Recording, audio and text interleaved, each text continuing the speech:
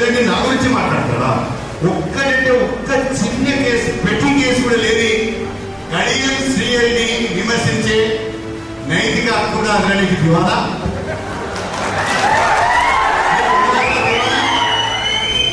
దొంగలు. ఎట్లా ఉందంటే దొంగ దొంగ దొంగ దొంగ దొంగ అని వచ్చినట్టున్నారు ఇప్పుడు గజ ముప్పై సంవత్సరాల నుంచి రాజకీయం చేస్తున్నా. పెద్దవా రేవంత్ రెడ్డి అర్థం చేసుకోవాలని చెప్పి ఈ సందర్భంగా వెళ్ళిపోవాలి ఇక మన ఇందిరామయ్యలో మాట్లాడిందట పాప ఆమెకి ఏం అవగాహన నాకు తెలియదు.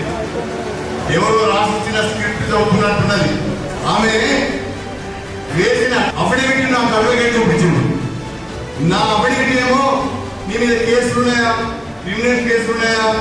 ఎక్కడ నీ మీద కోర్టు నీకు వ్యతిరేకంగా తీర్పు ఇచ్చిందా అనే కారణం అన్నింటిలా లేదు లేదు లేదు లేదు లేదు ఆమె నీ మీద క్రిమినల్ కేసులు ఉన్నాయా? నీ మీద చీటింగ్ కేసులు ఉన్నాయా? నీ మీద ఇంకేమైనా కేసులు ఉన్నాయంటే ఉన్నాయి ఉన్నాయి ఉన్నాయి ఉన్నాయి అని ఆమె రాసింది.